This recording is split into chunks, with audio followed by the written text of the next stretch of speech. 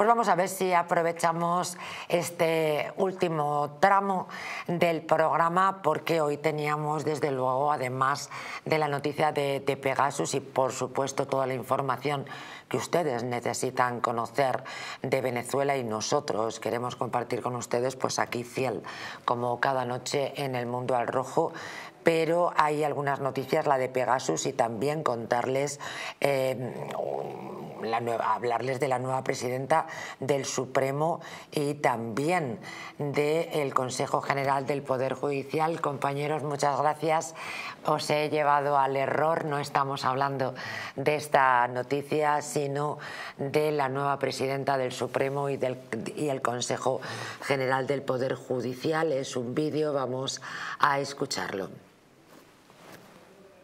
Isabel Perello se ha convertido este martes en la nueva presidenta del Tribunal Supremo y del Consejo General del Poder Judicial, según han acordado los vocales del CGPJ en un pleno celebrado en extremis tras varios intentos fallidos debido al enfrentamiento entre los bloques progresista y conservador. Perello, responsable en su mayoría de asuntos económicos, ha tenido un perfil poco mediático durante los 15 años que lleva en el Supremo, donde ingresó en 2009. Un perfil que ha sido escogido tras cinco reuniones necesarias para que los 20 vocales, 10 progresistas y 10 conservadores se pusieran de acuerdo después de que tomasen posesión el pasado mes de julio. Desde los siete candidatos iniciales, Finalmente, este martes han destilado las candidaturas de Ferrer y Perelló para decantarse por la segunda. He llevado al error a mis compañeros. No quería dejar eh, de compartir con ustedes. Esta es una noticia importante. Fran Trejo, además, lo comentaba, ¿verdad? Al inicio del programa, no sé qué análisis. Os voy a rogar un análisis eh, breve. Tenemos un último tramo del programa con mucha información. A mí me sorprende ¿no? que, dentro de, la más alta magistratura tengamos que hablar de magistrados de derecha y de izquierda. Hasta donde yo sé hay 10 conservadores y 10 eh, y diez y diez de izquierda, ¿no? por decirlo de alguna forma, o, que obedecen al gobierno. Lo que sinceramente no entiendo es cómo ha salido 16, o sea, 6 conservadores que apoyan a una magistrada que pertenece a jueces para la demagogia, digo, perdón, para la para la democracia. ¿no? Aquí había una, un ítem impepinable pedido o impuesto por, por, Sánchez, que era que el nuevo presidente del Consejo General del Poder Judicial fuese una mujer. Y, así ha sido, ¿no? Así ha sido una mujer. Aunque, bueno, yo tengo mis dudas, ¿no? Yo creo que, que en este momento, bueno, pues Sánchez goza o va a gozar de todo el poder dentro de la justicia. Bueno, ojalá don Fran se equivoque. Yo no conozco la trayectoria de esta, de esta señora. Eh, lo que he leído, lo poquito que he podido leer durante la jornada de hoy, mm, es que es una persona que tiene criterio propio, aunque sea una persona de izquierdas. Yo, aunque parezca increíble, eh, es posible ser de izquierda y ser honrado. es verdad que es algo inaudito, infrecuente, anómalo. ¿eh? pero es posible. Entonces yo le voy a dar el beneficio de la duda. Yo soy de... yo, tengo dos pases, el tercero ya, ¿verdad, Santi? Eh, no, al tercero ya no... ¿eh? Entonces, si esta señora nos la va a jugar, rápidamente se la va a ver el plumero, en tres de pipas. Entonces, vamos a confiar en que una persona que puede tener una ideología diferente a la mía, pues lo haga bien. Vamos a, vamos a verlo. Tiempo habrá de diseccionar eh, la realidad.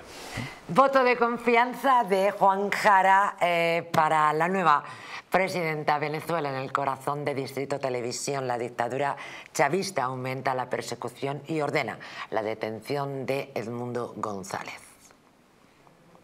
Tribunal de Venezuela ha emitido este lunes una orden de arresto contra el ex candidato de la oposición de Venezuela, Edmundo González Urrutia, tras aceptar la solicitud del Ministerio Público contra el opositor, que se proclamó vencedor de las elecciones presidenciales celebradas a finales de julio y en las que el Consejo Nacional Electoral dio la victoria al presidente del país, Nicolás Maduro, en unos resultados que han sido cuestionados a nivel internacional. El juzgado especial primero de primera instancia en funciones de control con competencia en casos vinculados con delitos de del terrorismo, ha ordenado la detención de González Urrutia por los supuestos delitos de usurpación de funciones, forjamiento de documento público, instigación a la desobediencia de leyes, conspiración, sabotaje a daños del sistema y asociación, según ha confirmado el Ministerio Público en su cuenta de la red social Instagram. Maduro ha justificado esta orden de detención al considerar inadmisible que González no reconozca las leyes en referencia a su rechazo tanto a los resultados electorales como de las instituciones controladas por el chavismo que han avalado estos comicios, como ha expresado Maduro durante un programa televisivo recogido por el diario El Nacional. Por su parte, la líder opositora María Corina Machado ha asegurado en la red social X que el gobierno venezolano ha perdido la noción de la realidad por sus amenazas contra el presidente electo, una acción que, como ha afirmado, cruza una nueva línea. Una noticia que comenta la extraordinaria activista Azabache. Muy buenas noches. Vaya, tenemos otra vez problemas. Eh, vamos a ver si es tu micrófono, Azabache. No sé si me escuchas. A ver, eh, estoy probando. No. Vamos a ver si. Sí, ahora sí. Sí, vamos a intentar recuperar esta, esta conexión con Azabache, una de nuestras colaboradoras eh, favoritas. Son, es verdaderamente extraordinaria a través de ella. Estamos conociendo la realidad de Venezuela que nos sobrecoge. Eh, pasamos mientras tanto a... El amplio ganador en las urnas. Pero supongo que a nadie le extraña, ¿no? que, que, un dictador, que un tirano detenga a quien le ha ganado. ¿no? O sea, o sea, sinceramente no me extraña nada, era totalmente previsible. Una vez que el ganador no es capaz de hacer valer su posición a nivel internacional y a nivel interno, pues todo, toda esa cohorte de pelotas llenos de, de gualtrapas aquí, de, chapas de Coca-Cola por todos los lados, de escarapelas, pues lógicamente, pues dice, pues oye, pues habrá que, para seguir manteniendo al régimen y seguir llevándonos lo muerto con el narcotráfico y el terrorismo internacional, pues habrá que detener al ganador. Recuperamos a Zabache, ahora sí creo que está preparado este sonido. Zabache, querida, muy buenas noches. Buenas noches, mis guerreros de luz, amantes de la libertad. Un abrazo de corazón a corazón. Bienvenida a este tu programa. Cuéntanos cómo, cómo se está viviendo en Venezuela esta noticia. La orden de detención, decía Juan Jara, van a detener a la democracia. Así es, este, la tiranía ataca de nuevo. Ese es el, título, ¿no? Sigue la cacería de brujas, la represión avanza sin tregua. Hoy contra el presidente electo, la gravedad de esto es impresionante y está delante de los ojos del mundo. Voy a, subrayar por qué la tiranía supuestamente está acusando al presidente electo, y lo, y lo repito mil veces si es necesario, ¿no? Por usurpación de funciones, forjamiento de documentos públicos, instigación a la desobediencia de leyes, conspiración, sabotaje a daños de sistemas y asociación. Esto es la criminalización de la oposición política y de todo aquel que piense diferente. La orden de detención contra González Urrutia es una táctica clara del régimen para eliminar los rivales políticos. Eh, estamos en una tiranía. La represión es sistemática, es una estrategia del régimen para mantener el poder a través de la intimidación y la represión es muy importante que el mundo sepa que todo lo maneja el régimen. En Venezuela no hay república, no hay Estado de Derecho, no hay poderes independientes, no existe la democracia. Y el sistema judicial pertenece a todo ese ecosistema chavista donde tenemos, por supuesto, la Constitución es chavista, el Tribunal Supremo de Justicia es chavista, el Consejo Nacional Electoral es chavista, las Fuerzas Armadas son chavistas, los medios de comunicación son chavistas. O sea, en Venezuela no hay justicia, sino la justicia chavista y por supuesto todos siguen la orden desde la cabeza hacia adelante de, toda la cúpula de poder. Nosotros tenemos que hacer un llamado internacional, urgente, para liberar a Venezuela. Esto es muy importante que la comunidad internacional eh, condene acciones, fechas límites, medidas por los derechos humanos y la seguridad también de otros países. Eh, ¿Por qué digo esto? Porque no está solo en peligro eh, los derechos humanos que están violados desde hace 25 años en Venezuela y los crímenes de lesa humanidad, sino que este sistema criminal es tan grande y tan poderoso por las fuerzas que convergen en él que la seguridad de todos los países a nivel global es, están en peligro y por eso debe ser un tema para todos. Eh, por supuesto, y, repito que en Venezuela no hay Estado de Derecho, la orden de captura es una, una prueba más que en Venezuela no existe la justicia independiente, todo está secuestrado por el régimen, como dije antes, ¿no? Y, pienso que cada nueva orden de captura es un clavo más en el ataúd de la libertad en Venezuela. Necesitamos ayuda, no podemos solos y, y es a ver, es vital que el mundo entienda que no son solamente 25 años de tiranía, sino que esta gente, el sistema criminal, tiene más de seis décadas. ¿Por qué? Porque es la unión de Cuba con Venezuela. Ellos tienen tejido una red internacional inmensa, donde los ciudadanos venezolanos no pueden, es, es, bueno, no sé si es inocente o pensar que los ciudadanos sin armas, sin nada, pueden librar una batalla con un monstruo tan grande. Necesitamos ayuda, necesitamos que, que todos los... A ver, y esto lo voy a decir de corazón y voy a tratar de, de, ser lo más sutil posible porque es un medio de comunicación, pero ¿dónde está el Papa? ¿Dónde están los gobiernos democráticos? ¿Dónde están los organismos internacionales pro derechos humanos? ¿Dónde está el mundo? Están asesinando personas y no pasa nada. Qué grande Azabache, el Papa diciendo tonterías, para empezar. En fin, qué, tremendo nuevo SOS que está pidiendo Azabache a través del Mundo El Rojo eh, para Venezuela. También lo pide desde sus redes sociales que yo voy a solicitar ahora esas direcciones para que todos eh, cada vez seamos más siguiendo Terés, la voz de Venezuela. Gracias, gracias de corazón. Arroba Online. Eh, por favor, necesitamos ser eco, necesitamos convertirnos en un gran poder comunicacional porque los ciudadanos nada más podemos alzar la voz y presionar a quienes puedan hacer.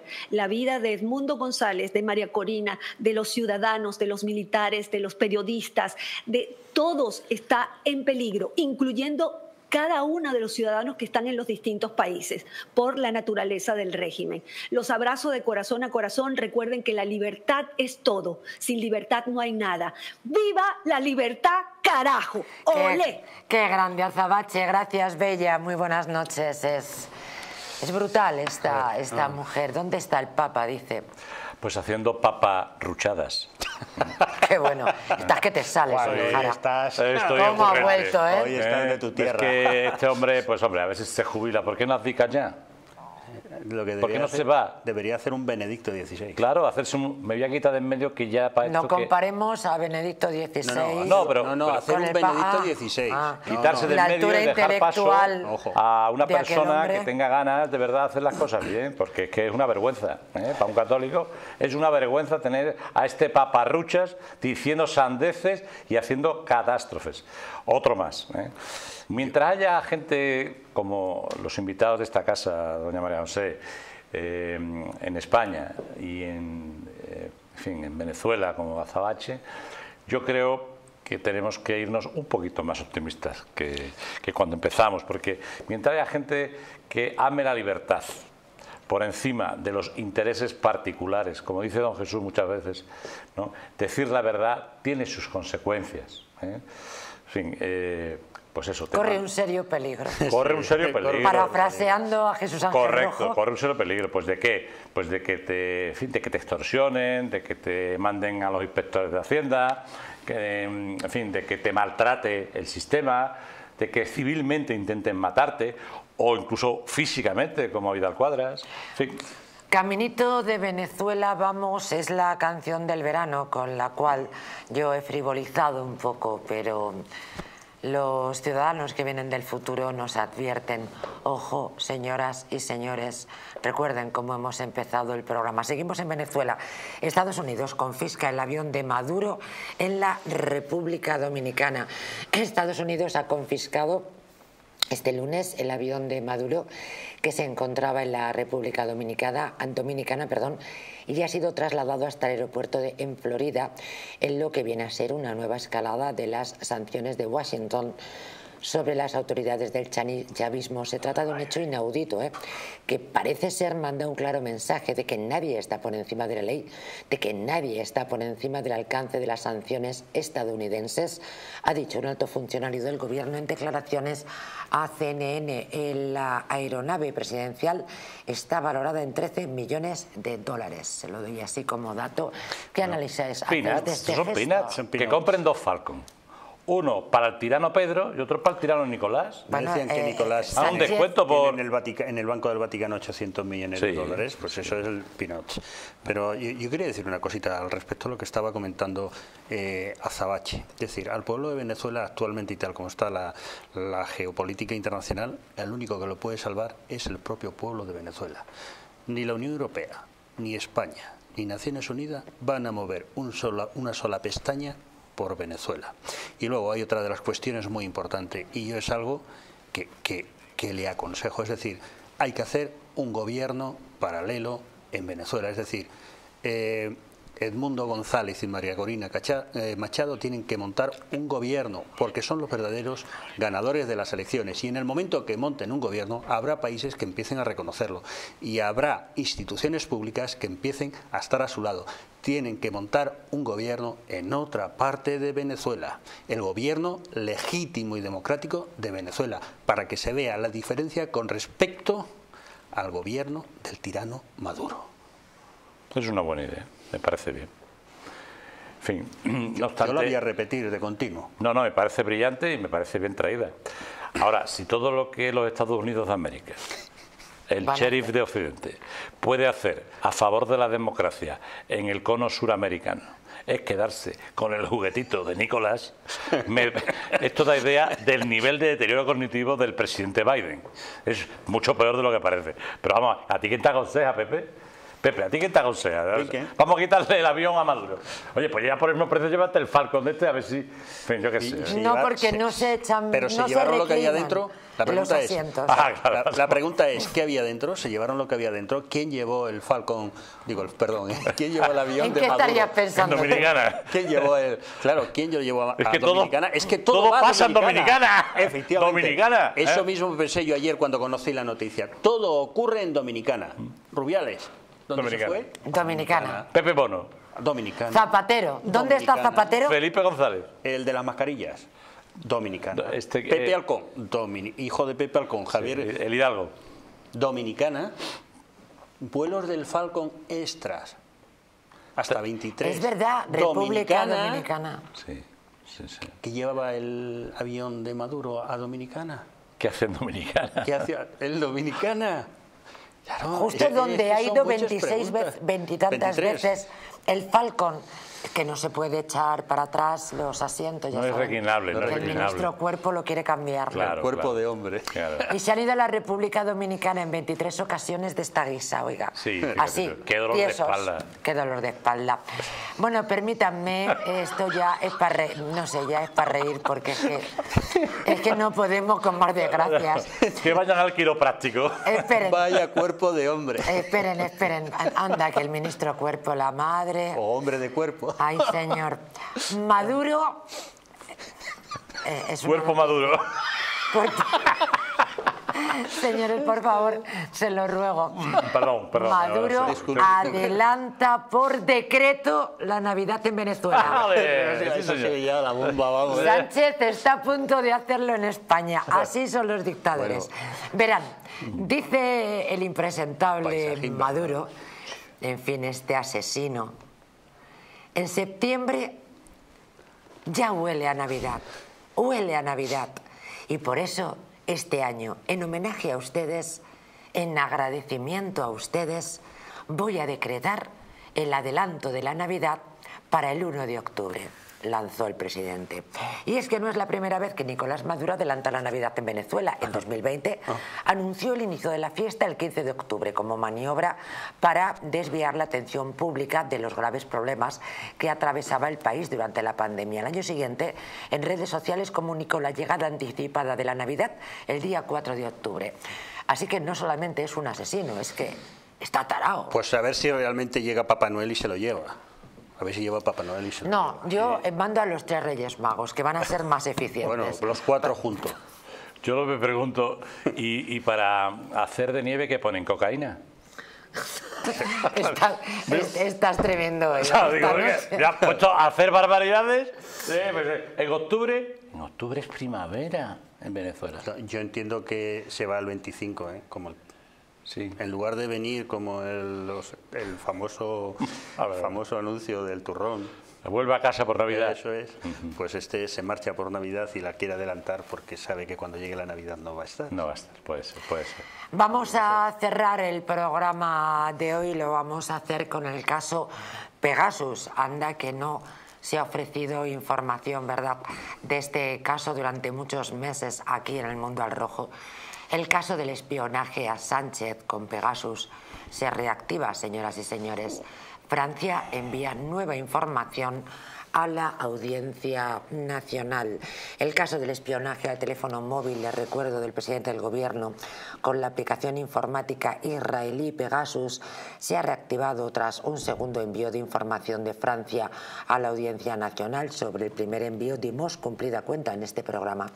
El titular del Juzgado Central de Instrucción número 4, José Luis Calama, acordó en abril reabrir esta causa donde se investiga también el espionaje a los móviles de los ministros de Defensa, Margarita Robles, Fernando Grande Marlasca y Luis Planas. Interior, eh, Agricultura eh, y Defensa, el primero de Margarita Robles respectivamente. Em, cosas que les tenemos que contar, fuentes de la investigación consultadas por Libertad Digital, eh, que es el medio en el que me estoy basando, afirman que Francia efectuó su segundo envío de información a la Audiencia Nacional antes del verano. El Centro Criptológico Nacional ya ha terminado su primer informe, pero el instructor de la causa ha solicitado un segundo informe complementario con los nuevos datos aportados por las autoridades galas. En esta investigación se pretende averiguar quién fue el autor del espionaje al presidente del Gobierno y a los ministros, pero también el contenido de la información espiada. A día de hoy, tanto Francia como España siguen la pista de Marruecos en busca de indicios que apunten a este país como posible autor del espionaje con Pegasus. Bueno, como todo lo francés sea así de corto, eh, realmente tienen un problema de próstata.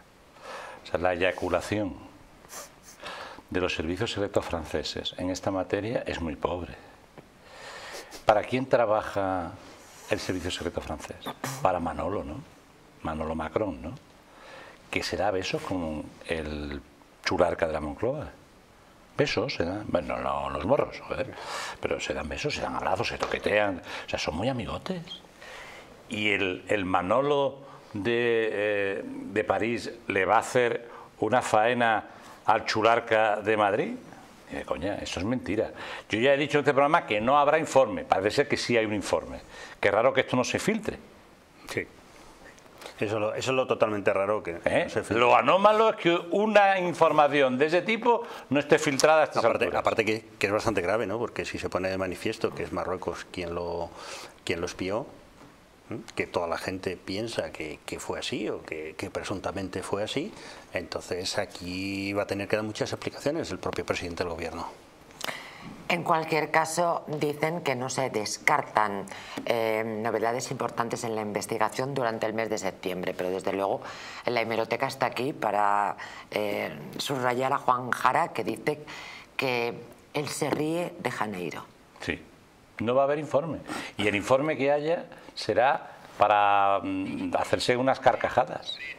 ¿eh? ni más ni menos. ¿Por qué? Pues simplemente pues porque los intereses de los particulares están por encima de los intereses de los ciudadanos de Francia y de España. los de Marruecos no existen. La única, la única forma de que hubiese un informe, hubiera una investigación sería, sería con la desaparición de Moncloa, obviamente política, de, Sánchez. ¿no? Es decir, si, si mañana hubiese elecciones y tuviésemos un gobierno nuevo, probablemente sí que conoceríamos algunas cosas. O vendría un idiota, decir, hombre, no, vamos al descrédito del país, de meter en prisión, mira la que se liaría, ¿eh? bueno, como ha hecho Mariano con el tema del 11 de marzo. Te recuerdo que al, expresidente Rato lo metieron en el coche. Sí, los suyos. ¿Eh? Los suyos. Cristóbal. Te, recuerdo que a Nicolás Sarkozy le hicieron lo mismo.